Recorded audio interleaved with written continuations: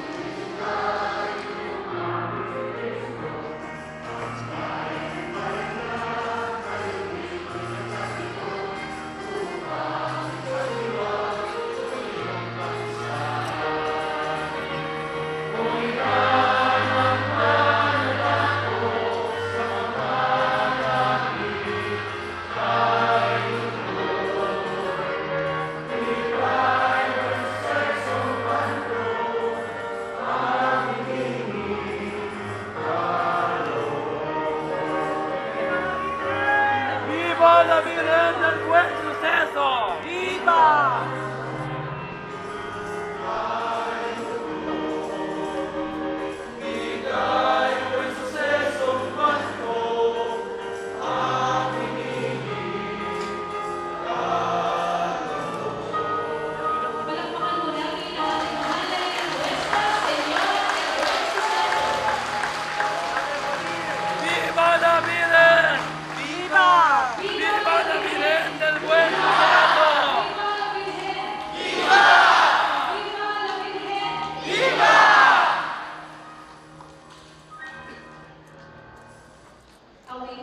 jer je ona i.